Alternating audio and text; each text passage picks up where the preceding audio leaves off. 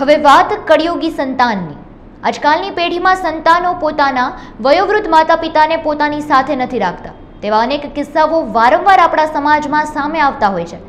તેના જ કારણે આજે દિવસે ને દિવસે વૃદ્ધાશ્રમની સંખ્યામાં પણ વધારો જોવા મળી રહ્યો છે. ત્યારે બીજી તરફ રાજકોટના પ્રાંત અધિકારી દ્વારા વયોવૃદ્ધ માતાને જમીન મકાન તેમજ ભરણ પોષણ આપવાનો ચુકાદો આપ્યો છે. વીઓ એક. આપણે ત્યાં દંપતીઓ શેર માટીની ખોટ પૂરી કરવા માટે પથ્થર એટલા દેવને પૂછતા હોય છે. ત્યારે તેમને ત્યાં પારણું બંધાતા તેઓ તેમને ત્યાં જન્મનાર સંતાનને લાડકોટથી ઉછેરતા હોય છે. તો તેમની પાસે માત્ર એક જ અપેક્ષા રાખતા હોય છે કે ઘડપણમાં દીકરો તેમની લાડકી બને. આપણે ત્યાં દંપતીઓ શેર માટીની ખોટ પૂરી કરવા માટે પથ્થર એટલા દેવને પૂછતા હોય છે. ત્યારે તેમને ત્યાં પારણું બંધાતા તેઓ તેમને ત્યાં જન્મનાર સંતાનને લાડકોટથી ઉછેરતા હોય છે. તો તેમની પાસે માત્ર એક જ અપેક્ષા રાખતા હોય છે કે ઘડપણમાં દીકરો તેમની લાકડી બને. પરંતુ કેટલાક સંતાનો એવા પણ હોય છે કે જે પોતાના વયોવૃદ્ધ માતા પિતાની રહેલી સંપત્તિ પચાવી પાડતા હોય છે.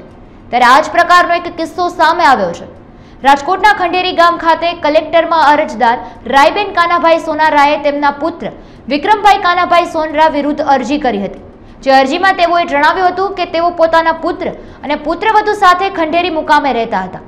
પરંતુ છેલ્લા એક વર્ષથી તેમના પુત્રએ તેમને તર છોડી દીધા હોવાના કારણે તેઓ રખડતું, ભટકતું અને ઓશિયાળું જીવન જીવતા હતા.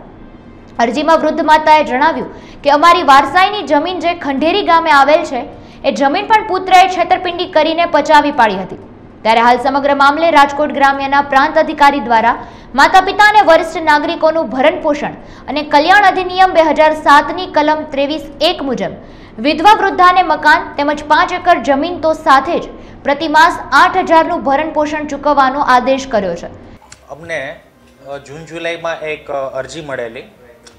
રાયબેન સોનારા ખંડીને રહેવાસી અને મોટી ઉંમરના માજી છે અને એમની એક એવી અરજી મળેલી. એ અનુસંધાનમાં કે ભાઈ એમના જે પુત્ર છે એ એમને સાચવતા નથી અને ભરણ પોષણની કોઈ રકમ આપતા નથી. અને એમની પહેલાં એમણે પોતે ઇમોશનમાં આવીને પોતે પોતાની જમીનમાંથી, જમીન છે, એમના પુત્રના નામે કરી આપેલી. અને પુત્રના નામે જમીન થયા પછી એમણે સાચવતા નથી. એવી એક અમને ફરિયાદ મળેલી. એટલે એના બેઝ ઉપર અમે છે, એ માતા પિતા અને વરિષ્ઠ નાગરિકોનું ભરણ પોષણ કલ્યાણ અધિનિયમન બે હજાર સાત હેઠળ અમે છે, એ એક સમાજ કલ્યાણ અધિકારીની નિમણૂક કરી કે ભાઈ આ જે માજી છે અને એમના જે પુત્ર છે એને સાંભળવામાં આવે અને હકીકત શું છે? અને સમાધાનકારી વલણ જો થાય, તો આગળ કેસ ન ચાલે. એટલે સમાજ કલ્યાણ અધિકારી દ્વારા એમને બંનેને બોલાવી એમના નિવેદન લેવામાં આવ્યા. અને જેમાં એમના પુત્ર જે છે, એમણે કહ્યું કે ભાઈ, હું એટલો સક્ષમ નથી કે હું એમને ભરણ પોષણ આપી શકું. પણ સામે એમને જમીન પણ એમના નામે કરી આપેલી હતી. એટલે આ સમાધાન ન થતાં અમારી પાસે આ ફરી કેસ રિફર થયો. એટલે અમે છે એ વખતો વખત છે, એ નોટિસ કાઢીને બંને પક્ષકારને સાંભળવા માટે નોટિસ કાઢેલી. જેમાં દર વખતે માજી છે કે એના ગામથી અહીંયા આવતા પણ એમના પુત્રને વારંવાર નોટિસ કાઢી છે એટલે પોલીસ દ્વારા વોરંટ ઇસ્યુ કર્યું. ટેલિફોનિક વારંવાર જાણ કરવામાં આવી. આમ છતાં પણ એ ક્યારેય પણ હાજર રહ્યા નહીં. અને માજીની દરેક વખતે કે સાહેબ, અમારે મેં જે મોતિયાનું ઓપરેશન કરાવ્યું છે તો એની પણ મને રકમ મળે ભરણ પોષણ કારણ કે એમને એમની છોકરીઓના ઘરે રહેવું પડતું હતું. એટલે છેલ્લે પછી અમે છે એ વારંવાર તક આપ્યા પછીથી છેલ્લે અમે આ કાયદા હેઠળ એક હુકમ કર્યો છે અને એ હુકમ હેઠળ અમે માજીને એમની જે જમીન છે એ પાછી અપાવવા માટેનો હુકમ કર્યો છે. આ જે કાયદો છે માતા પિતાને વરિષ્ઠ નાગરિકોનું ભરણ પોષણ અને કલ્યાણ અધિનિયમ બે હજાર સાત. આની જે કલમ છે, એની અંદર ત્રેવીસ નંબરની કલમમાં બહુ સ્પષ્ટ લખેલું છે કે જે પણ મા બાપ જે છે, તો સંતાનોની એ ફરજ રહેશે કે એના મા બાપને નૈતિક રીતે અને કાયદાકીય રીતે સાચવવા.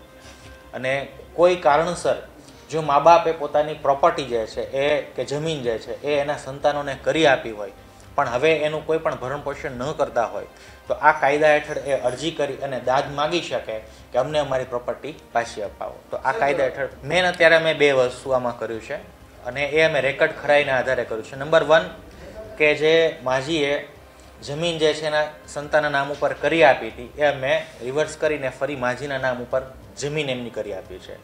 બીજું છે કે પંચાયતના રેકોર્ડ ઉપરથી ખરાઈ કરતા અને પંચાયતનું એક રોજકામ અમે મેળવ્યું હતું. તો એના આધાર ઉપર ખબર પડી કે ભાઈ, આજે માજી જે ઘરમાં રહેતા હતા, એ ઘરમાંથી એમને કાઢી મૂકવામાં આવેલા.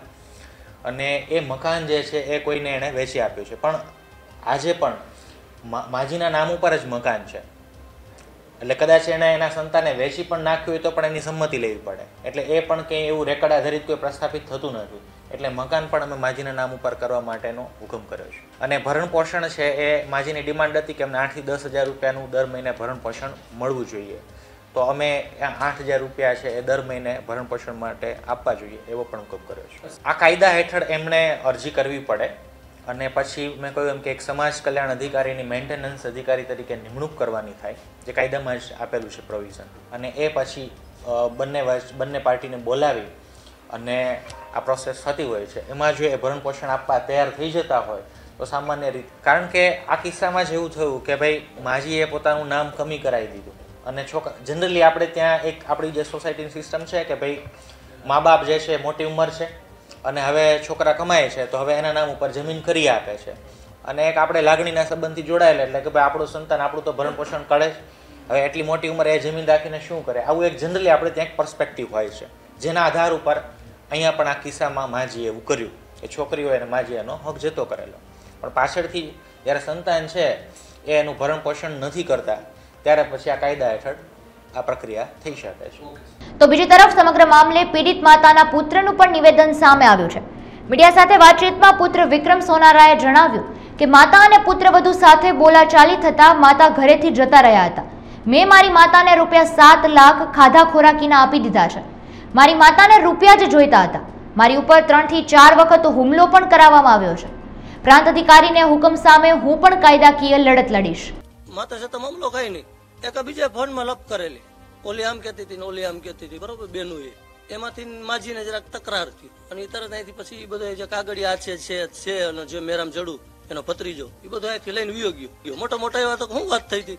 એમ કરી બધું વસ્તુ લઈને વિયો ગયો. બાકી ભાભીને મેં કાયદેસર લીગલી ભાગ પાડી દીધો. એ મેં પોતે પાડેલો. કોઈ બીજું નથી પાડો એવું. એ આપણે હાસુ જ બોલી અને આ જે છે જગ્યા, એ મારા ભાગની છે. ઓલી છે એના ભાગની એમણે પીડી છે.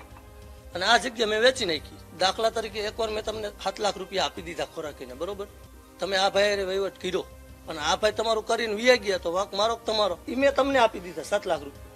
તમે આની વહીવટ કરો ને, આ ભાગી જાય તમારું લઈ તો એ મારો વાંક કે તમારો વાંક? હા, હું બે ત્રણ વાગ્યો મેં જ લખાણ કરાવ્યું અને જવાબમાં બધું આપી દીધું મેં જવાબ જમીન તો ક્યાં? મારા ભાગની મારા ભાગમાં છે. અને ભાભીની, ભાભી, ભાભીના ભાગમાં છે. એને ટૂંકમાં પૈસા જ જોતા હતા, બીજું કાંઈ નહીં. પૈસા લાવો, ઠેલા ભરતી સમજો માજીને હા, પછી એ પાછા એવું કરે, પૈસા દે એટલે ત્યાંથી પાછા દાડિયા નાખે. શું કરે? તમને દસ હજારથી હાલો બાંધવા જવું. એ લગભગ ત્રણ ચાર વાર મારી ઉપર હુમલો કર્યો. છ છ ગાડી લઈને, સમજી ગયા? મારી જો સેલરીઓ ગાડી ત્રણ વાર ભાંગી નાખી. બોલેરો ઠોકે, ભીત પસાડી અને ગાંધીગ્રામ ત્રણ ચાર વાર પંચનામા કર્યા. પડધરી વાળા બે વાર કર્યા, બરોબર? પૈસા મેં આઠ લાખ રૂપિયા એના નીકળતા મેં આપ્યા. તે મતે દાડીએ નાખ્યા. બાવાના છોકરાને દસ હજાર દીધા ને ઓલાને દીધા ને પછી છ સો મહિના પોપટ પરા માર્યા ત્રણસો હાથનો મેં કેસ હાઈકો હે. આજીવનની સજા હતી મને. પછી મારા ભાઈનું એક અકસ્માત થયું. અને હું નિર્દોષ છૂટી ગયો. ના ના, જમીન તો મારો કેસ હાલતો હું કેસ જીતી ગયો. બરોબર છે, જમીનનું મારું જે હતું, એ સોલ્યુશન મેં કાઢી લીધું વકીલ નાખી બરોબર હું કેસ જીતી ગયો વાંધા અરજીમાં ગઈ એટલે હું કેસ જીતી ગયો. હવે એમાં હારી ગયા ને એટલે પછી એમાં એ લોકો ઊભું કર્યું પાછું? એટલે ટૂંકમાં એને બાથવું બીજું કાંઈ વાત નહીં. બાંધવાની બીજી કઈ વાત નહીં. ખેતી કામ કરતા એમાં આઠ હજાર રૂપિયા ન નીકળે મહિને મહિને. એ વર્ષે વર્ષોમાં લાખ રૂપિયા માંડ વધે. કારણ કે બીજા પાસે ખેતી કરતા હોય, કોઈ ટ્રેક્ટર વાળા તે સાધન વસ્તુ આવી હોય. આપણે એને દેવાના કે એને નહીં દેવાના? જમીન તો મારા નામની થઈ ગઈ છે. ત્યારે પીડિત માતાને તેનું ઘર અને તેના ભરણ પોષણ ક્યારથી મળે છે તે જોવું અતિ મહત્વનું બની રહેશે. આવા જ અવનવા વિડીયોઝ માટે અબતકની ચેનલને સબસ્ક્રાઇબ લાઇક અને શેર કરતા ના ભૂલશો. આ જ રીતે જોડાયેલા રહો અબતક સાથે.